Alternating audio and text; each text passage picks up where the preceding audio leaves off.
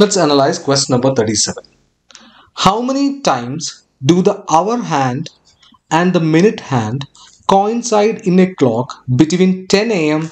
and 2 p.m. same day? So this is a question. So you might have learned about this like in 12 like in a in a day how many times minute hand and hour hand coincide or in a 12 12 hours how many times minute hand and hour hand coincide this is most of you guys most of you might know about this right?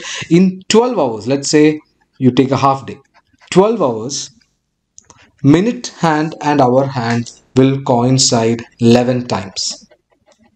Okay? Some of you might think okay in 12 hours like every hour they will coincide once right? So they, th that's common misunderstanding. That some of the students will think that okay every hour they will coincide once. So 12 hours means they will coincide 12 times. That's a common mistake. Actually they are coinciding only 11 times. I will tell you where that uh, difference is coming. So between 11 a.m and 1 p.m okay let's take 11 a.m and 1 p.m the minute hand and hour hand is coinciding only once only once only at one time. What time it is going to be? 12 that's the time only like between 11 a.m and 1 p.m it's coinciding only once. So that's the reason in 12 hours you are getting they are uh, coinciding only 11 times. This makes a difference.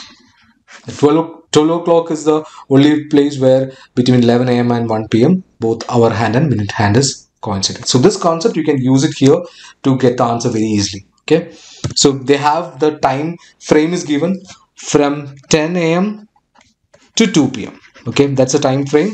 And we need to find how many times minute hand and hour hand is coinciding okay let's take the hour wise uh, uh, like you know uh, time period will take. Okay let's start with 10 to 11 okay 10 a.m to 11 a.m so definitely it will coincide once you don't need to find where they when they're coinciding between 10 and 11 they will definitely minute hand and hour hand will coincide once.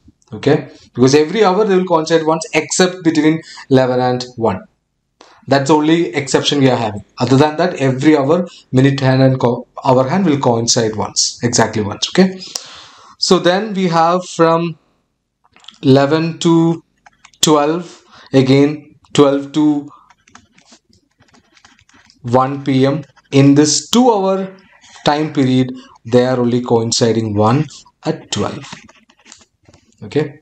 Then from 1 p.m. to 2 p.m. again definitely they will coincide one more time. So the total is going to be in this time frame. The total number of times the both hour hand and minute hand coinciding is three times. This is a simple question. Your answer is option A is the right answer for this question.